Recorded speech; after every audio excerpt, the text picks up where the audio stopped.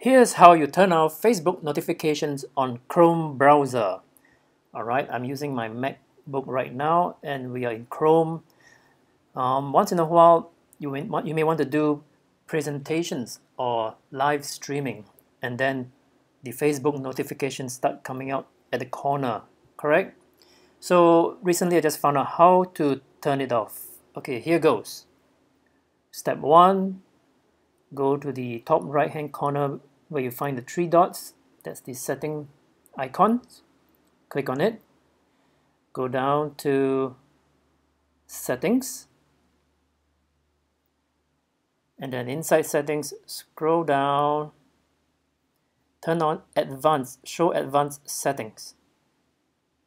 Then scroll up. Look under privacy. Under privacy, there's two buttons. Click on the one with content settings. Then inside content settings, we have a few selection.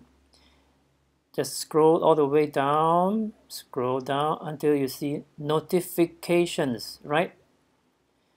And now, okay, although this option says do not allow any site to show notifications, but it, but it doesn't work. Okay, this, this is when you accept notification.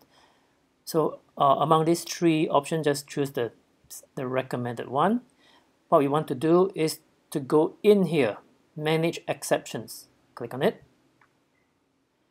And then you have lots of websites which you have voluntarily accepted to send notifications to you. So we want to scroll down to Facebook, find facebook.com, and then it says allow. Click on it, and now you have a choice to allow or to block.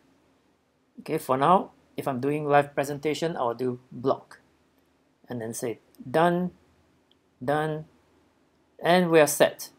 Facebook notification is turned off. Okay, so if you like this video, remember to like it, subscribe for more. See you in the next video.